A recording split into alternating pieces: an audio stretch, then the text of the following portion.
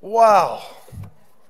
Blessing of little children, what a day after that split sermon by Mr. Fantau, and then the, the children's choir, and then Cole. This is awesome. What talent we have. We are looking forward to them all growing up and becoming members of the body of Jesus Christ, aren't we? Yeah, so thank all of them for all that they have done again. Let's thank them again.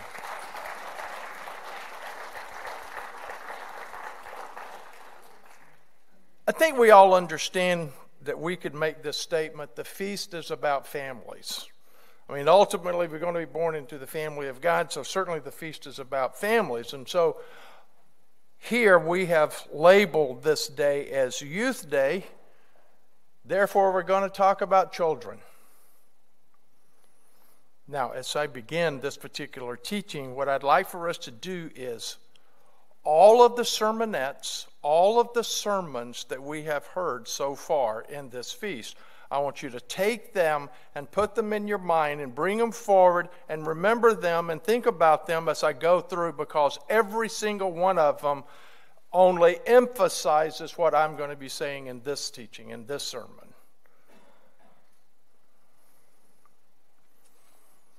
There are a lot of sayings or mottos or whatever you would want to call it that are going around today in society that talk to parents that tell them that they need to talk to their children about certain issues that are happening in the world today. We have heard some of those issues, in fact, many of those issues so far already in this feast. That's why I'm saying take all of those messages and put them here experts are saying that parents actually have a major influence on their parent, I mean on their children. Now, we're not shocked by that, but they have to go to school and learn all of these things and we just look in the Bible.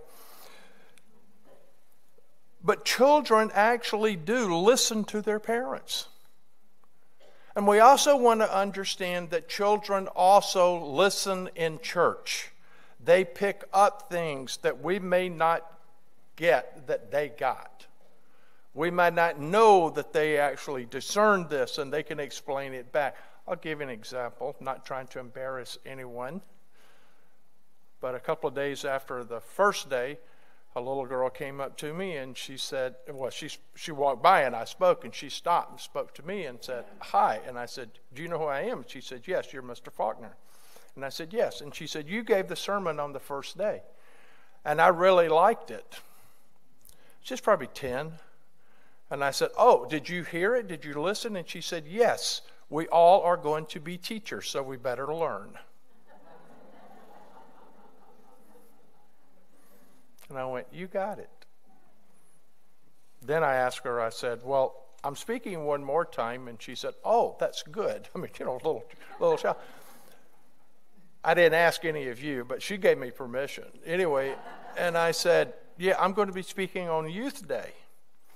And she went, Oh. And I went, Do you think I'm too old to speak at Youth Day? And she looked at me and she went, No. And then she ran off. so I got to speak on Youth Day because one of the children told me I could. Now, Mr. Watson had already put it in writing, but anyway, it was going to happen anyway, but I thought that was cute. These experts in these studies go on to describe that parents, mom and dad, and even grandparents have a powerful influence on their children as they are growing up, and we really do.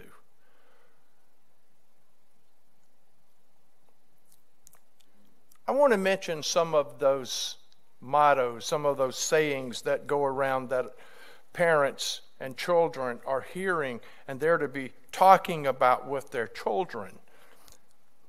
Talk to your children about drugs.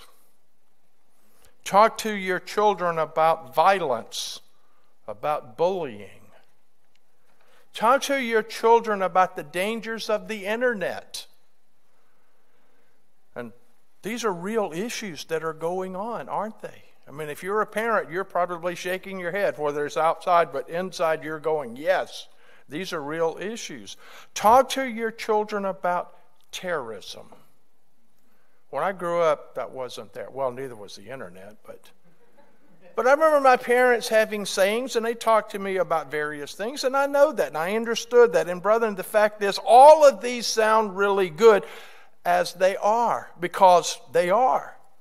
However, something is missing. So please understand we will all have very little success in telling our children what to avoid if we have not already told them what to hold close to them, what to embrace, what is really, really, really important to them in their life. So, a saying, a motto that I think we all need to have when it comes to our children or our grandchildren is talk to your children about God. That's what I've titled this message Talk to Your Children About God. Now, I do understand to some degree I'm speaking to the choir. At least I hope I'm speaking to the choir. Because I want us to understand the point, brethren, all of us. The idea that parents need to influence their children is not a new concept, because it is an everlasting principle outlined in the Word of God. We see it in the pages of the Bible, in other words. So let's go back and let's consider some, not all, some of God's directives to His people, the children of Israel. Because you see, brethren, God very specifically instructs, we want to use the word command, we can, but instructs parents to talk and to teach their children about God. To talk to your children about God's way of life. And we're going to see this because it says that we're to do this. Go with me now, if you would. Please go with me to Deuteronomy 6 and verse 7. If you don't get any other verse, any other passage that, we, that I address here, at least get this one. In fact, I will even tell you here commit this verse to memory and then put it in your heart and then actually live by it.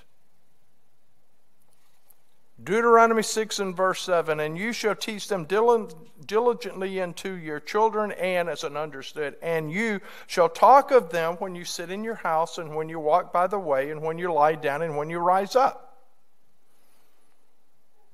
Now, I want us to notice the word teach.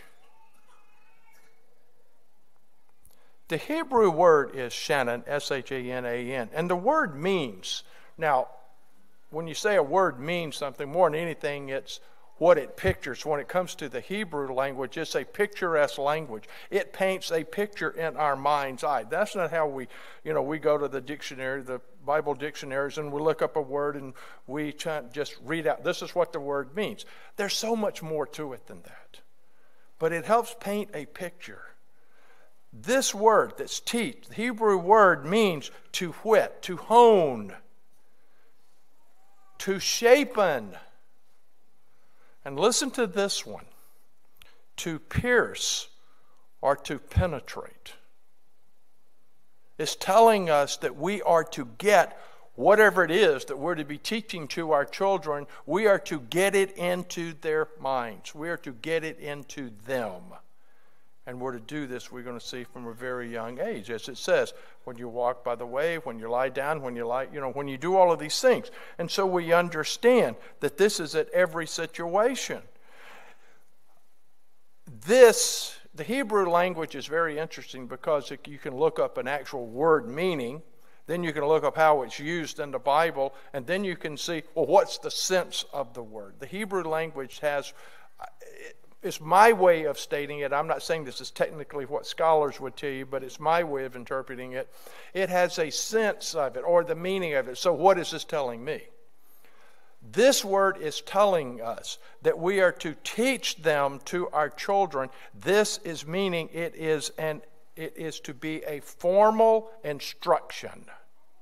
We are to formally teach them instruct them, getting this information, penetrating into their little minds and into their heart.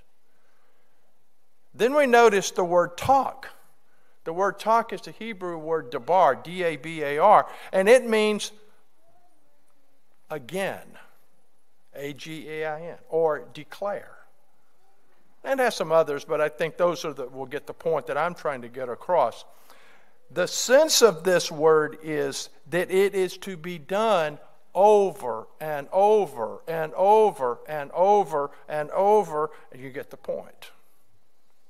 You're to teach them in a formal setting, and you're to talk to them in a casual manner. That would be what it would be, the sense of it. In a casual. That's what we just read.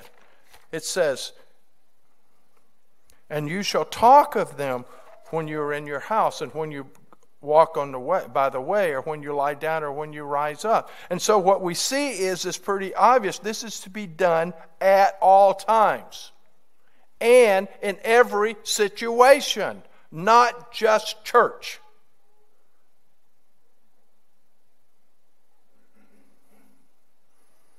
But what are we are to teach them? What are we to talk to them about well, let's go up two verses and let's read what it is telling us. Verse 5. And you, meaning parents, it means all of Israel, but and you shall love the Lord your God with all your heart and with all your soul and with all your might. It starts with us learning to love God, putting it in us. And these words, which I command you this day, what words? That you shall love the Lord your God with all your heart. And all the things that God is teaching us shall be in your heart. And now, verse, 11, verse 7, it goes right into it. And you shall teach. You shall, Shanan, you shall formally instruct them, your children, diligently, which means with dedicated care unto your children, and you shall talk, you shall dabar, you shall casually speak to them of this whole way of life of God when you sit in your house and when you walk by the way and when you lie down and when you rise up. Again, it is at all times and under all situations. In other words, it is to be a running dialogue all the time with our children. We are to use situations to teach them the Word of God. We are to use circumstances and situations so that they will reflect on loving God with all of their heart. This is not something that we haphazardly do. In fact, God is so serious about this that he has even set up certain times and places where parents, yes, I said parents, it is not necessarily the responsibility of the ministry. Oh, yeah, we have the responsibility. We instruct everyone, and we talk and we include the children. They do listen, they do pay attention. Oh, I like your sermon, it's about teaching. That's a 10 year old two days after the sermon. They get it, they listen. They may be coloring, but they're listening.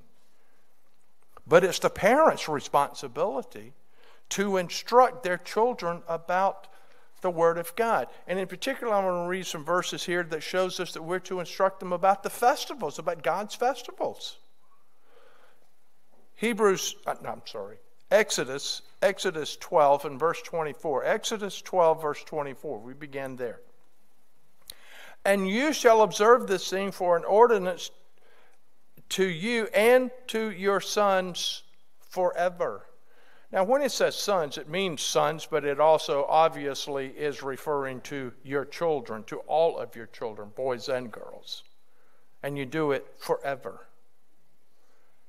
And it shall come to pass when you become to the land which the Lord your God will give you according to that he has promised that he shall that you shall keep this service. Now it goes on, it talks about one of the festivals, and so it, it includes all of them, but this is a generic one that I want to use. And it shall come to pass when your children shall say unto you, What mean you by this? Why are you doing this service? Why do you do this?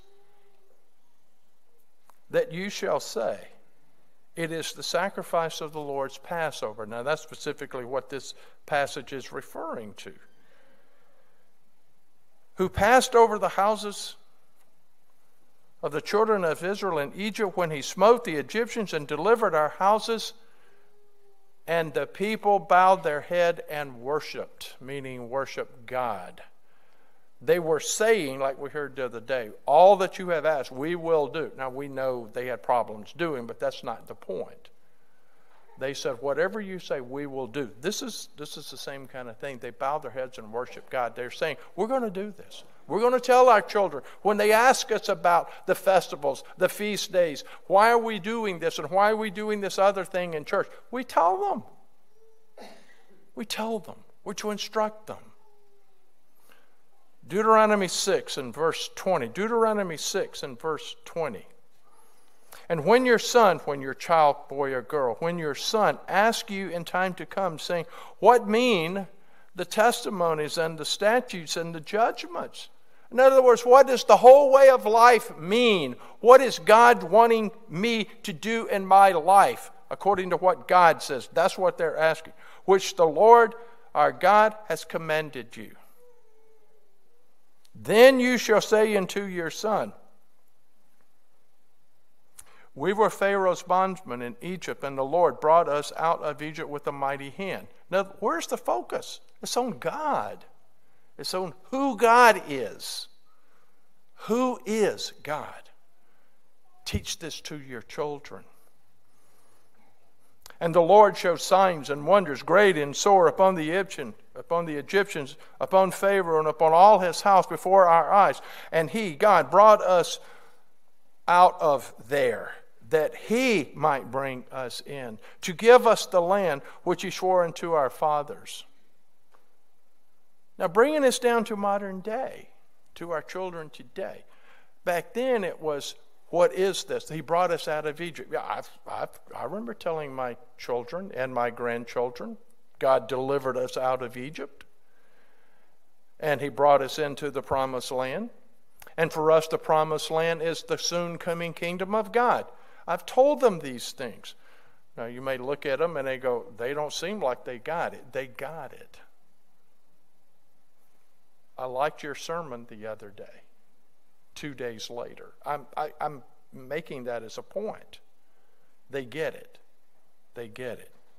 And the Lord commanded us to do all these statutes, listen to this, to fear the Lord our God. One of the major purposes of the Feast of Tabernacles. We're to be teaching this to our children.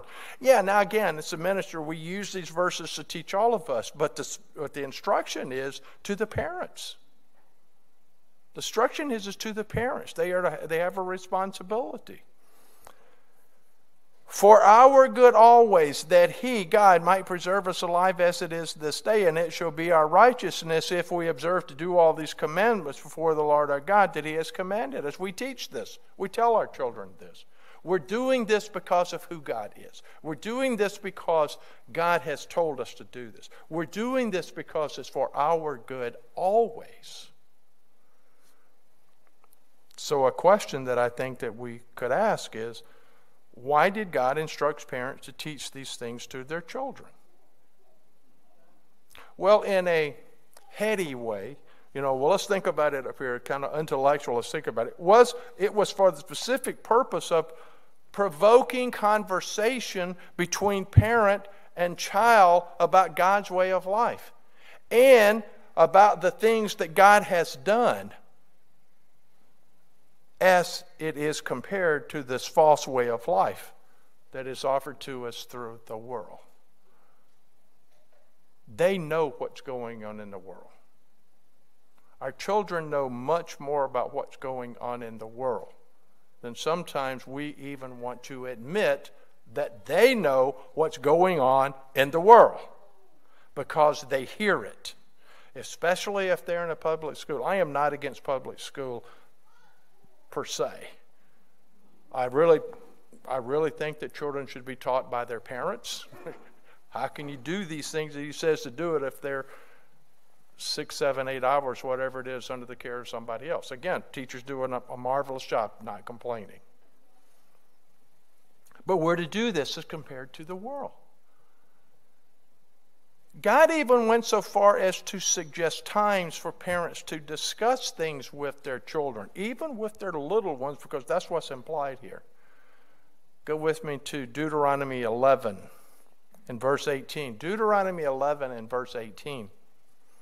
Therefore shall you lay up these my words in your heart and in your soul, and bind them for a sign upon your hand, that they may be as frontlets between their eyes. Do you get the point that it is the Word of God is always to be our focus, always to be in front of? If it is a front, and I know the Jews, and we can ridicule them all day long. They took this as literal. Now, whether they did it or not it's not the point, but they literally did this. There are still extreme Orthodox Jews that do this. They write the Ten Commandments and it's put in a little box and it hangs and it's right here in front of them all the time. And we go, well, that's really extreme. Um, do we have anything that's anywhere similar to that within our heart that we put these things in our mind like that? I'm not saying do that. I'm not implying do that at all. I'm just saying we need to question ourselves. But is this what it says? That you're to do this, you're to lay it up, and to put it that it be as frontlets between your eyes and you shall teach them unto your children. Wow. If we as parents are to have the Word of God in the very focal point of our mind, right in front of our face at all times, and then he says, and we're to teach it to our children. Do you think this is important? I think it's important. And you shall do this when you sit in the house and when you walk by the way. Oh, didn't we just read this? No, this is another, another verse. This is another chapter. But it's repeated. When God says something once in the Bible, it's important. When He says it two times, what do you think that is? What if He says it three times? Because He does. He wants us to get the point. We are to teach our children about God and about God's way of life, all the blessings, all the things that God has done. It is important. It is important. And when you walk by the way, and when you lie down, and when you rise up. And he doesn't stop there. And you shall write them upon the doorpost of your house and upon your gates. There's a lot of ways of stating what he's meaning here, and I'm going to take this approach to it. God's words, his way of life, is to be obviously in front of us at all times. Now, as a show of hands, do any of you have a copy of the Ten Commandments anywhere in your house? We do. Do you have it by your front door? We do. Yeah, you're too much of an extremist. You actually believe I was invited not to come back to a church one time because the, the guy actually said, it's because he actually believes the Bible means what it says.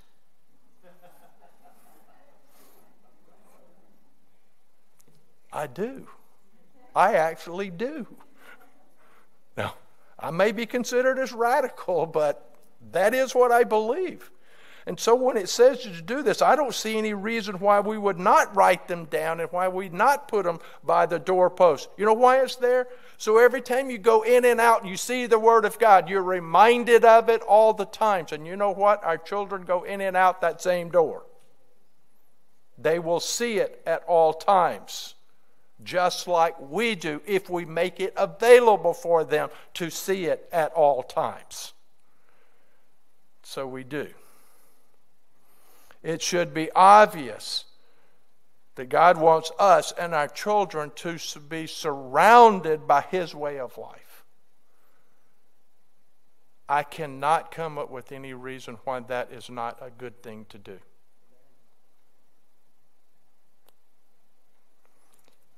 God's word, His exciting, awesome, holy words, are to have not a, but the major focal point in our lives and in our homes.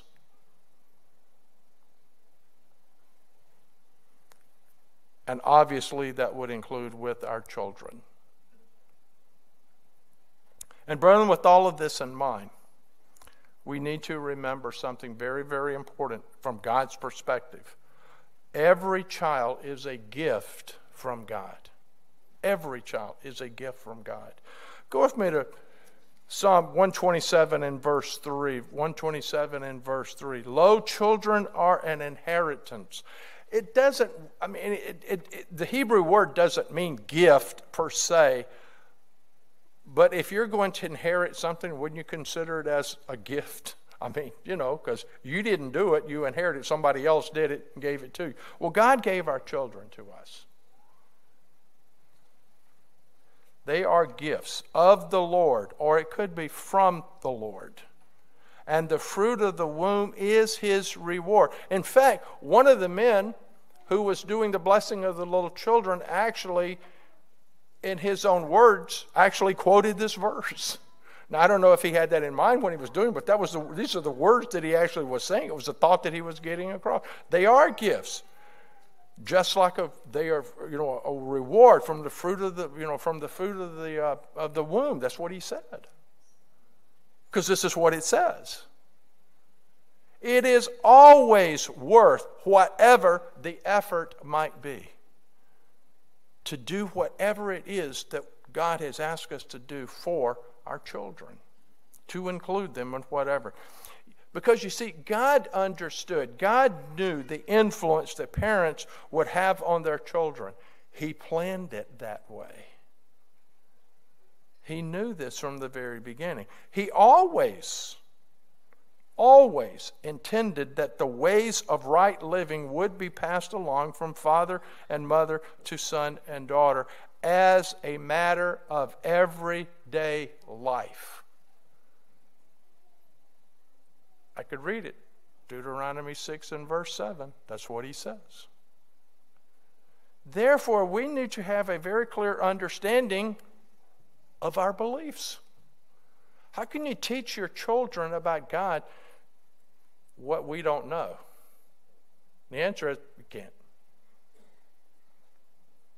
But we can learn.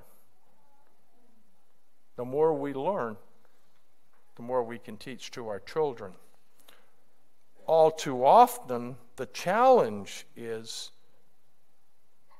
that many parents face is in order to discuss the things that they believe with their children, they have to know what they believe. When your son and your daughter come to says, "Why do we do this?" Well, why don't you ask Mr. Watson? Why don't you ask Mr. Marino? Why don't you ask Mr. Ramakan? Whatever when you get to church.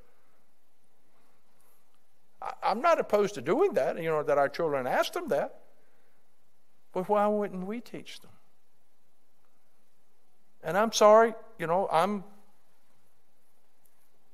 I could be told don't come back, you know, because I'm too radical. And I understand this. And the mic goes dead, you know, somebody says, I don't agree with what he's saying, you know. But, but why can't we teach it to them?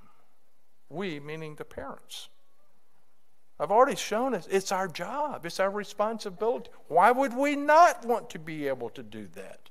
And yeah, maybe the maybe the minister can explain it a little more in detail. That's fine, that's good, but we can teach our children because God says, teach your children. Do this. Our children at very little ages, young ages I'm talking about, can be taught. You know, here's the thing Satan can get into the mind of a very, very small little one, and they start and they can believe things that are wrong from a very little age, right?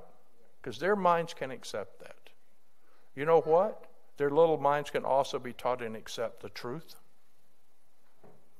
So why do we need to wait until they're well? They're well. We'll teach them when they're older. Satan is already there. He's already influencing them.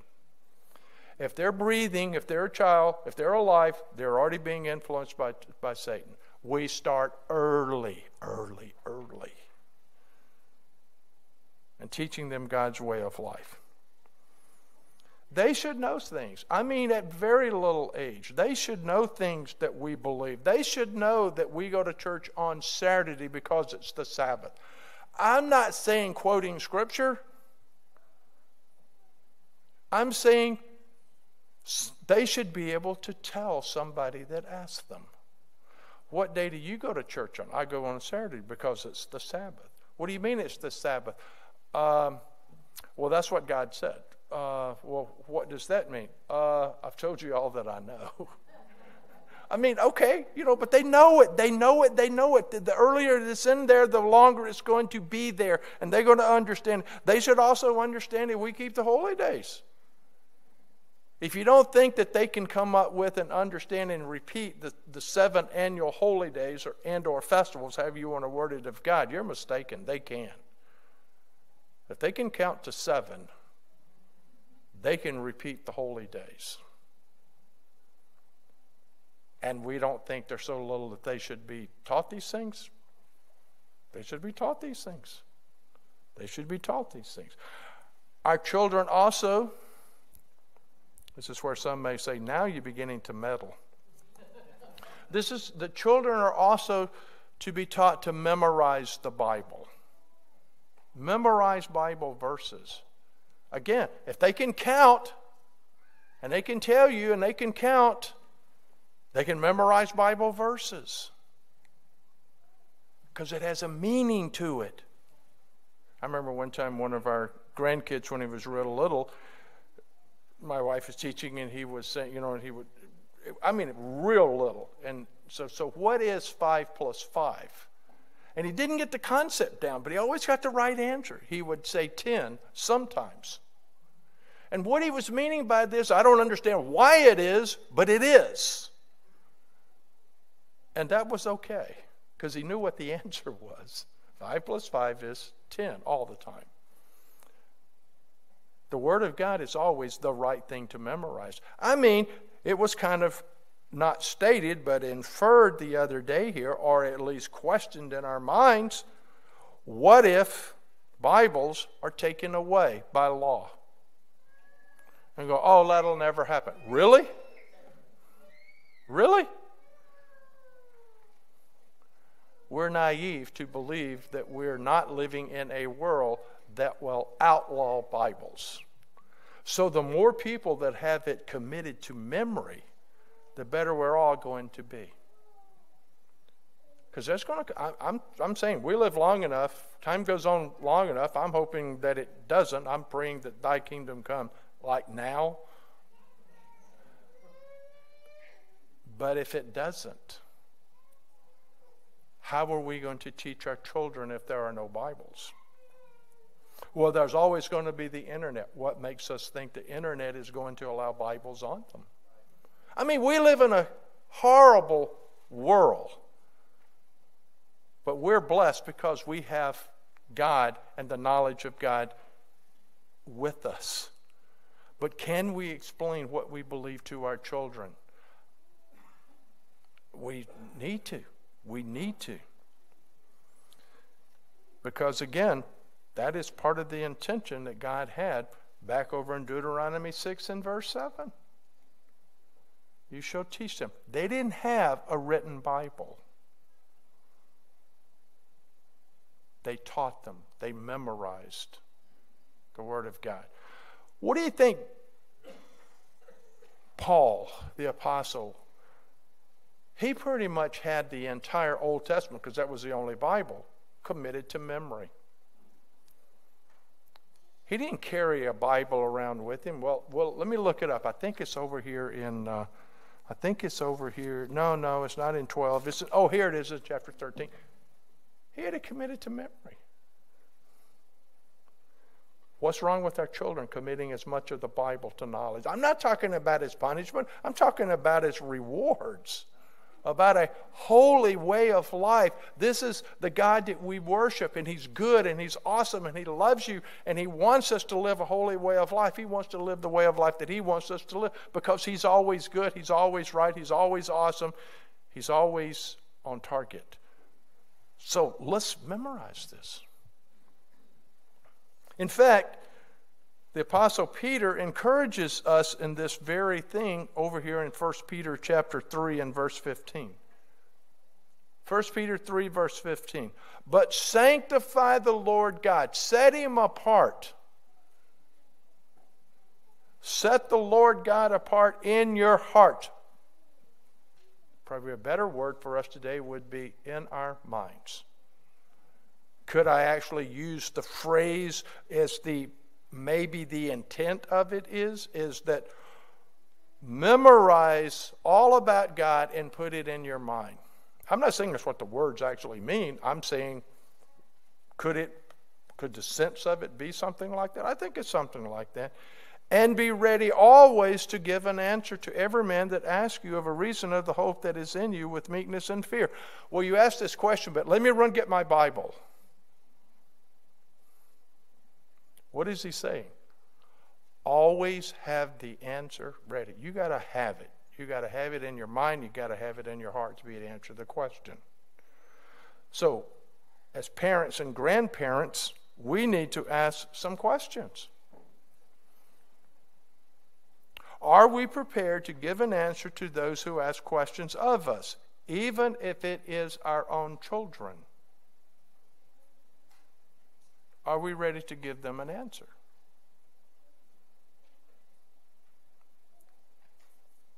Are we taking advantage of every teachable moment that we have to pass along to our children what we have learned about God's nature and about God's way of life? Are we building within us and within our children a foundation of truth that will sustain them in the storms of life that are ahead of them? Are we teaching our children about God? After all, any way you look at it, it is good for them and it is good for us. Because if we have it and we can teach it to our children, is it good for them? Yes. Is it good for us? Yes. Parents, please understand we are either going to prepare our children to follow Jesus Christ or to follow the world. Because there's only two ways. We're either teaching them to follow Jesus Christ or we're not. And by not teaching them, we are teaching them there's the way of the world. Oh, I would never do that. Well, it's either it's, it's either one or the other. Let me give you some what I would consider to be very thought provoking quotes that I'd like for each one of us to think about. Who said it is not the point. I don't have to give them credit here. The first one I have is if you don't teach, if we don't teach our children to follow Jesus Christ, the world will teach them not to. It was outlawed.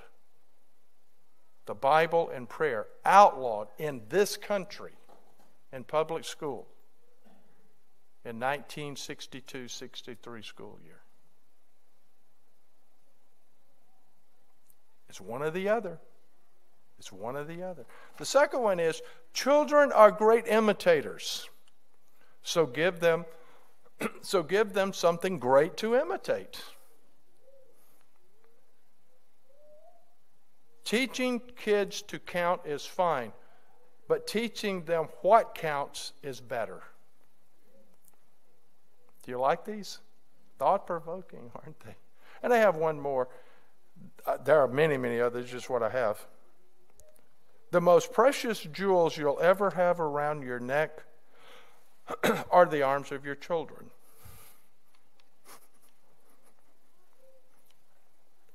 Now I want us to take a look at three more passages about teaching our children about God. Go with me, first of all, to Proverbs 22 6. Proverbs 22 6.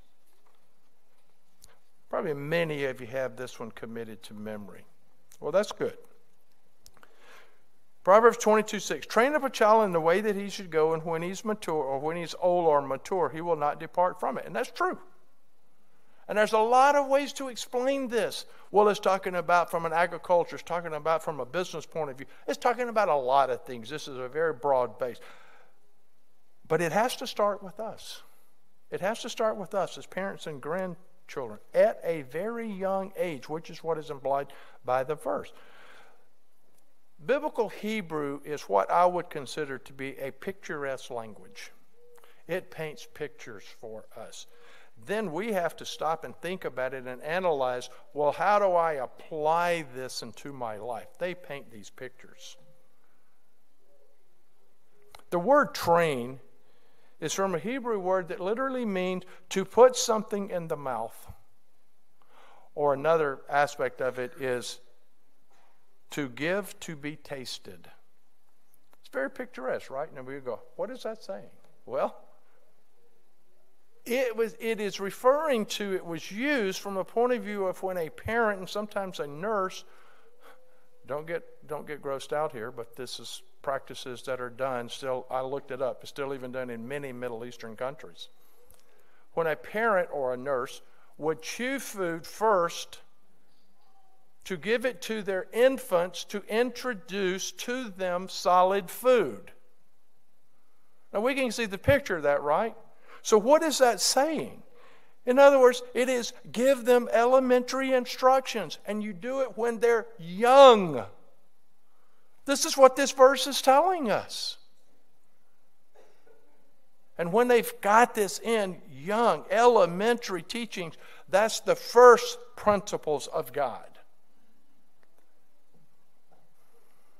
Another one Deuteronomy 4 and verse 9. Deuteronomy 4 and verse 9. Only take heed to yourself and keep your soul diligent, lest you forget the things which your eyes have seen, and lest they depart from your heart all the days of your life. So he's setting us up and saying, don't forget what you've seen. In other words, this is the Word of God. This is what it is. Don't forget it. Remember it all of the days of your life. That's another way of saying it. And then it says, So taste them to your sons and to your grandsons. That's what it says.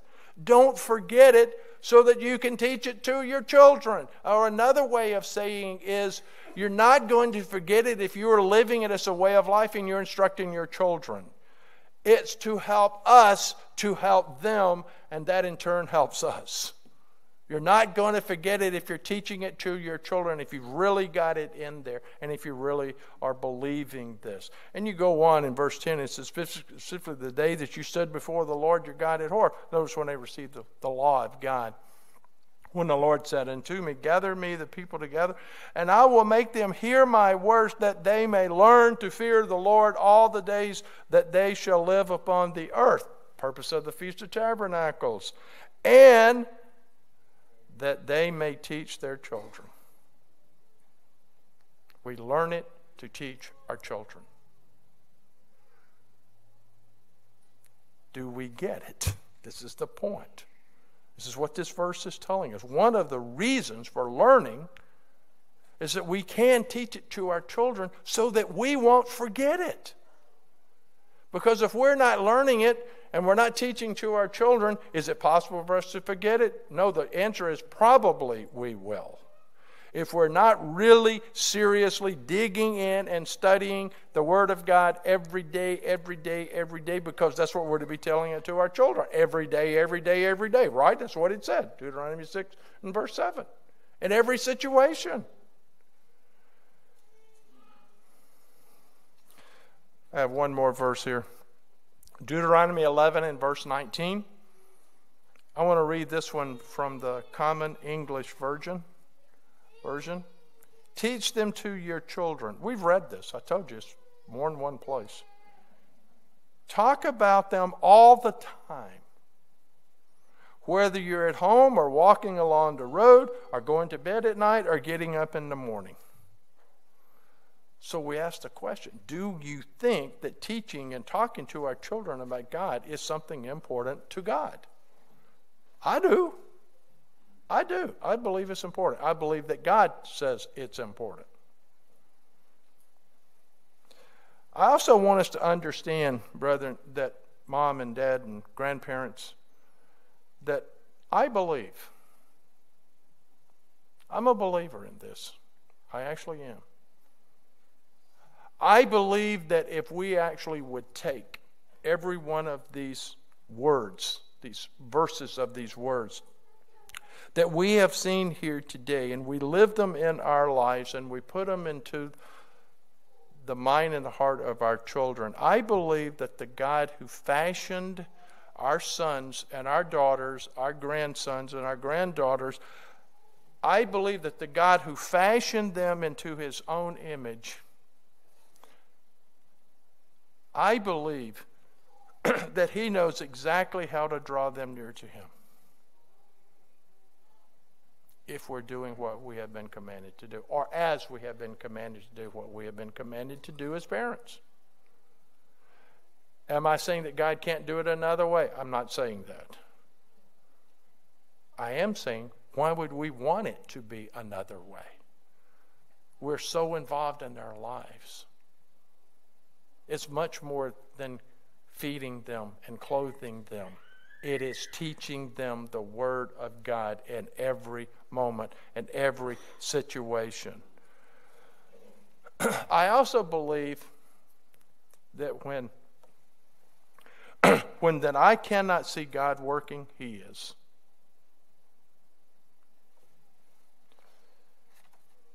I believe that the effectual, fervent prayer of a righteous mom and dad and grandparent avails much. Do our children need our prayers? All the time. All the time. So I watch, I wait, I pray, I believe. I believe that God, if we are teaching our children about who and what is God, talking to them at all times, I believe that the God we worship is willing to turn the world upside down. if he needs to, to turn the hearts of the children. I believe that.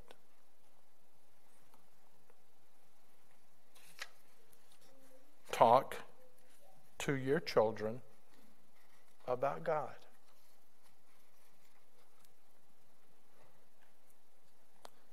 I want to end with the Aaronic blessing again. It applies to our children.